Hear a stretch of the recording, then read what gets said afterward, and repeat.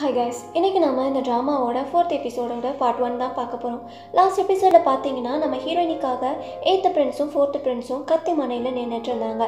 அடுத்து என்னெல்லாம் நடக்குதுன்னு பார்த்துருவோம். முன்னாடி இன்னும் நம்ம சேனலை சப்ஸ்கிரைப் பண்ணலைன்னா சப்ஸ்கிரைப் பண்ணிக்கோங்க. பண்ணிக்கோங்க. என்னோட வாய்ஸ் ஓவர் பிடிச்சாலோ இந்த ட்ராமா பிடிச்சாலோ உங்கள் ஃப்ரெண்ட்ஸ் அண்ட் ஃபேமிலி கூட ஷேர் பண்ணுங்கள் சரி வாங்க கதைக்குள்ளே போயிடலாம். இங்கிட்ட எயித்து பிரின்ஸும் ஃபோர்டீன்த் பிரின்ஸ்கிட்ட அவள் ராஜ துரோகம்லாம் பண்ணுற அளவு இருக்க மாட்டா. நம்ம பேலஸ் கார்ட்ஸ்லாம் கூடிய சீக்கிரம் அவங்கள கண்டுபிடிப்பாங்க. அதனால் அவளை எதுவும் பண்ணாமல் விட்டு அப்படின்னு கேட்குறாரு ஃபோர்த்து பிரின்ஸும் சரின்னு விட ஹீரோயினி அவள் பார்த்ததை சொல்கிறா நிறைய பேர் அங்கே இறந்து போனாங்கல்ல கழுத்தறுத்து அதெல்லாம் சொல்கிறா இங்கிட்டு க்ரௌன் பிரின்ஸ் என் தம்பியை நானே ஆபத்தில் மாட்டி விட்டேன்னு ஜோசியர்கிட்ட போகலாம் இங்கிட்டு ரெண்டு பிரின்ஸும் அந்த இடத்துக்கு தேடி வராங்க. அங்கே எதுவுமே இல்லை. ஃபோர்த் பிரின்ஸும் என்ன செத்து போனவங்களாம் நடந்து போயிட்டாங்களான்னு ஹீரோயினிட்ட எரிச்சலாக கேட்க ஹீரோயினி நான் இங்கே தான் பார்த்தேன்னு சொல்கிறாங்க அப்புறம் ஓ பிரின்ஸ் எதையோ தரையில் பார்க்குறாரு எல்லாத்தையும் பிளான் பண்ணி தான் பண்ணியிருக்காங்க அதான் ஆதாரம் எதுவும் கிடைக்கலன்னு சொல்கிறாரு ஃபோர்த் பிரின்ஸ் கடுப்பாகி கோவத்தில் ஹீரோயினையும் முறைச்சிட்டு போகிறாரு அப்புறம் நம்ம ஹீரோயினை அழுக ஆரம்பிச்சிடாங்க ஃபோர்த் பிரின்ஸ் எப்போ பார்த்தாலும் என்னை பார்த்தாலே என்னை கொல்ல போகிறேன்னு சொல்கிறாரு அப்படின்னு அழுக ஊக் பிரின்ஸு இவ பண்ணுறதெல்லாம் பார்த்து சிரிக்கிறாரு. அப்புறம் சமாதானப்படுத்தி கூப்பிட்டுட்டு போகிறாரு இங்கிட்டு ராணி பிளான் சொதப்பிருச்சுல அதை யோசிச்சுட்டு இருக்கா. தேர்ட் பிரின்ஸ் அங்கே வர ரெண்டு பேரும் ஃபோர்த் பிரின்ஸ் உள்ளே வரலனா எல்லாம் நம்ம பிளான் பண்ணி போயிருக்குன்னு பேசிகிட்டு இருக்காங்க.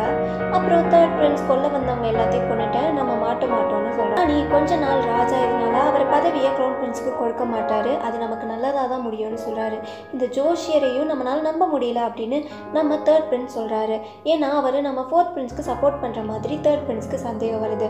ராணி அப்போது ஃபோர்த் பிரின்ஸ் மார்ஷியல் ஆர்ட்ஸ் ஏதாவது கற்றுட்ருப்பான் அதை நம்மள்ட்ட சொல்ல மாட்டாங்க.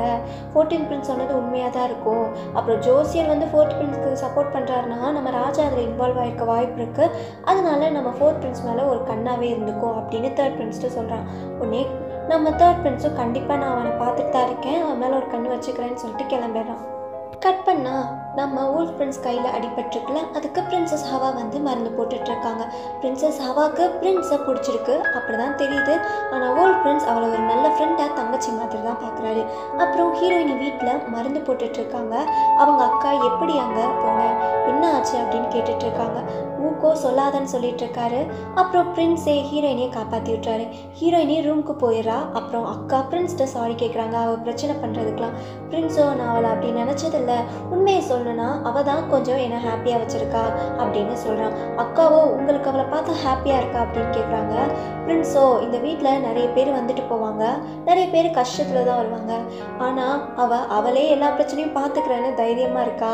அவள் தென்றல் காற்று மாதிரி நிம்மதியை தரான்னு சொல்கிறா உடனே நம்ம அக்காவும் பார்க்குறாங்க. அப்புறம் லைட்டாக அவளுக்கு புரியுது பிரின்ஸ்க்கு நம்ம ஹீரோயினை பிடிச்சிருக்குன்றது. ஆனால் எதுவும் சொல்லலை.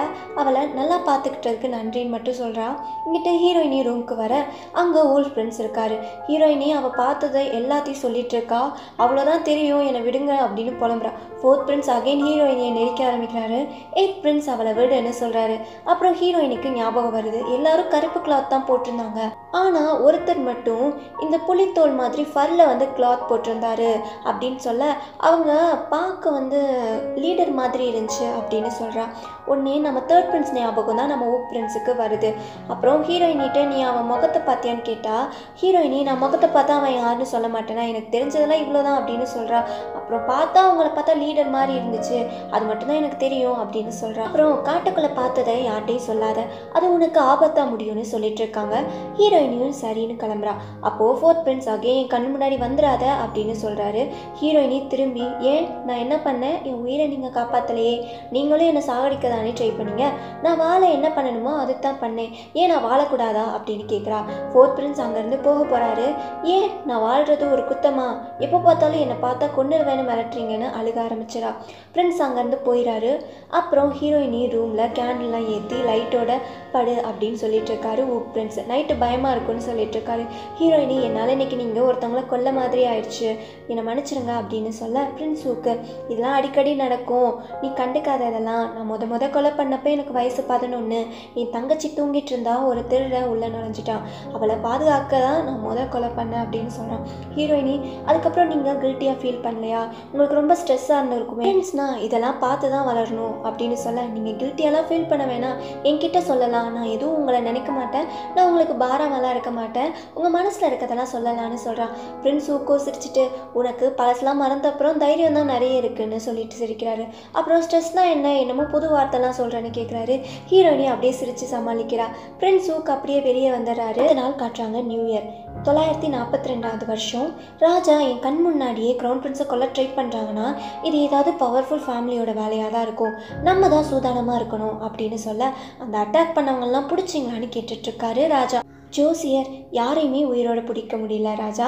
இப்போ பாடிலாம் போஸ்ட்மார்ட்டம் பண்ணிகிட்ருக்கோம் ஏதாவது கிடைச்சா சொல்கிறோன்னு சொல்கிறாரு க்ரௌன் பிரின்ஸ் அந்த அட்டாக்கர்ஸ்லாம் இங்கே பெர்ஃபார்ம் பண்ண வந்தவங்க தான்.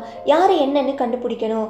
யார் அவங்கள உள்ளே விட்டாங்கன்றதையும் கண்டுபிடிக்கணும் அப்படின்னு சொல்ல ராஜா சரின்னு சொல்லிட்டு ஓல் பிரின்ஸ்கிட்ட கையில் அடிபட்டுச்சு. எப்படி இருக்குன்னு கேட்குறாரு பிரின்ஸும் இப்போ பரவாயில்ல ராஜா. சின்ன அடி தான் எயிட் பிரின்ஸ் வீட்டில் மருந்து போட்டு விட்டாங்கன்னு சொல்கிறான் ராஜா ராஜா உன் உயிரை பணையமாக வச்சு எதுக்கு நீ க்ரௌன் பிரின்ஸை காப்பாற்றினேன்னு கேட்குறாரு பதினஞ்சு வருஷம் முன்னாடி ஏன் உயிரை க்ரௌன் பிரின்ஸ் காப்பாற்றினாரு அதே மாதிரி அவர் உயிரை நான் காப்பாற்றணும்னு நினச்சேன்னு சொல்கிறான் ஊல் பிரின்ஸ் யார் க்ரௌன் பிரின்ஸை கொல்ல நினச்சாங்கன்றதை கண்டுபிடிக்கிறேன். அது வரையும் நான் இங்கே இருக்க அனுமதி கொடுங்க அப்படின்னு ராஜாட்ட கேட்குறாரு ராஜாவும் சரின்னு சொல்லிடுறாரு சோங்காக்கிலே கொஞ்ச நாள் இருக்கட்டும் சிஞ்சில் இருக்க காங் ஃபேமிலிக்கு சொல்லிடுன்னு சொல்கிறாரு ஜோசியர் சிரிச்சுட்டே நம்ம ஊல்ஃப் பிரின்ஸை பார்த்து சரின்னு சொல்கிறாரு ஊல்ஃப் பிரின்ஸ் இன்னும் கொஞ்ச நாளைக்கு சிஞ்சுக்கு போக தேவையில்ல. அதே மாதிரி ஊல்ஃப் பிரின்ஸ் அந்த கொலையாளியை கண்டுபிடிச்சிட்டா கண்டிப்பாக சோங்காக்லேயே இருக்க ஒத்துப்பாரு நம்ம க்ரௌன் பிரின்ஸு அப்போ ஊல்ஃப் பிரின்ஸ் கண்டிப்பாக அவர் சோங்காக்கில் இருக்கணும்னா கொலையாளியை கண்டுபிடிச்சி தான் ஆகணும். அதுக்கு தான் இப்போ வெறியோட தேடிட்டு இருக்காரு இந்த கொலையாளியை.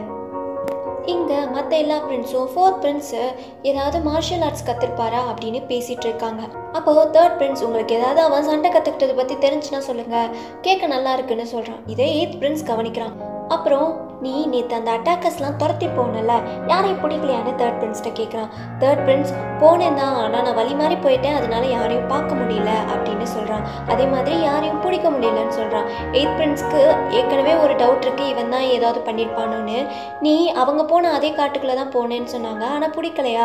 பிடிச்சா நல்லா இருந்திருக்கும்னு சொல்ல தேர்ட் பிரின்ஸு ஆமாம் ஆனால் நான் அந்த பாதை மாறி போயிட்டேன் என்ன பண்ணேன்னு சொல்கிறான் அப்போது ராஜா அங்கே வர நேற்று சண்டையில் யாருக்காவது காயப்பட்டிருந்தா உடனே டாக்டர்கிட்ட போங்கன்னு சொல்லிட்டு இருக்காரு அப்போது டென்த் பிரின்ஸ் கண்ணில் காயம் இருக்கிறத பார்த்துட்டு என்ன காயம்னு கேட்குறாரு டென்த்து பிரின்ஸும் ஒரு சண்டையில் காயம் ஆயிடுச்சுன்னு சொல்ல யார் சண்டை போட்டா பிரின்ஸ் கூட? அவ்வளோ தைரியம் யாருக்கு இருக்குது அப்படின்னு கேட்குறாரு அது யாராக இருக்கும் நம்ம ஹீரோயினி தான் கட் பண்ணால் ஹீரோயினி பயத்தில் இருக்கா? டென்த்து ஃப்ரெண்ட்ஸு ராஜா சொன்ன பனிஷ்மெண்ட்டோட வராருன்னு. என்ன பனிஷ்மெண்ட்னு யாருக்கும் தெரியல. ஹீரோயினி நம்ம கையை காலை வெட்டிடுவாங்களோன்னு பயப்படுறா. என்ன பனிஷ்மெண்ட் தெரியாமல் பயத்தில் நின்றுட்டு இருக்கும்போது அங்கே டென்த் ஃப்ரெண்ட்ஸ் வராரு. ரெண்டும் அகைன் வாயிலேயே சண்டை போட ஆரம்பிச்சதுங்க. ராஜாட்ட நீ தான் என்னை போட்டு விட்டுருப்ப அப்படின்னு ஹீரோயினி சொல்ல டென்த்து ஃப்ரெண்ட்ஸு என்னை இப்படி நினச்சிட்டல நான் உனக்கு பனிஷ்மெண்ட் தர வேணான்னு ராஜாட்ட கெஞ்சி கேட்டேன் தெரியுமான்னு சொல்ல ஹீரோயினி அப்படியா? ரொம்ப நன்றி. நான் உள்ளே போகிறேன் அப்படின்னு சொல்ல ஃப்ரெண்ட்ஸு ஏதோ சொல்ல வராரு. ஆனால் சொல்லாமல் தயங்கி ஹீரோயினி ஹீரோயினியே பார்க்குறாரு. ஹீரோயினிக்கு புரியுது. ஹீரோயினி இங்கே தான் எங்கான பொண்ணு. ஆனால் ஃப்யூச்சரில் கொஞ்சம் வயசு கூட தான் ஸோ ஹீரோயினிக்கு டென்த்து பிரின்ஸ் பேசுறதுக்கு முன்னாடியே ஹீரோயினி கண்டுபிடிச்சிடா பிரின்ஸ்க்கு நம்மளை பிடிச்சிருக்குன்றது. அப்புறம் அதெல்லாம் கண்டுக்காம நீங்கள் பண்ண உதவிக்கு ரொம்ப நன்றி. அடிக்கடி வீட்டுக்கு வாங்க. நான் நல்லா உங்களை வச்சு செய்கிறேன் கவலையே பட மாட்டேன். அப்படின்னு சொல்கிறா பிரின்ஸு அப்போது நீ என்னை அடிக்கடி பார்க்க வர சொல்கிறியா அப்படின்னு கேட்குறான் ஆமாம் நீங்கள் என் உயிரே காப்பாற்றிருக்கீங்கன்னு சொல்கிறா உடனே இவன் நம்ம லவ்க்கு ஓகே சொல்லிட்டான்னு நினச்சி இன்றைக்கி தான் நம்ம ஃபஸ்ட்டு டே லவ்லன்னு கத்திட்டு இருக்கான். இதோட ஃபஸ்ட்டு பார்ட் முடியுது. அடுத்து வர பார்ட்லாம் மிஸ் பண்ணாமல் பார்க்கணுன்னா ஃபிலிமா தமிழ் சேனலை சப்ஸ்கிரைப் பண்ணிக்கோங்க. பக்கத்தில் இருக்க பெல் ஐக்கானையும் ப்ரெஸ் பண்ணிக்கோங்க. நெக்ஸ்ட் எபிசோடில் பார்ப்போம். தேங்க்ஸ் ஃபார் வாட்சிங் பபாய்